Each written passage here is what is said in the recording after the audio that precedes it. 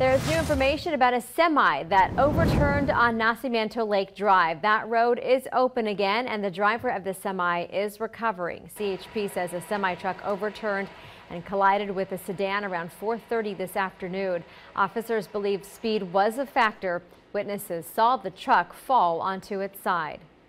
I still swear his guardian angel was driving that other car that stopped the truck from going over the side.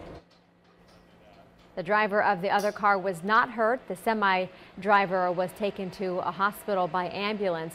The truck was carrying the sound system for the upcoming Dirtybird Campout Music Festival at the San Antonio campground.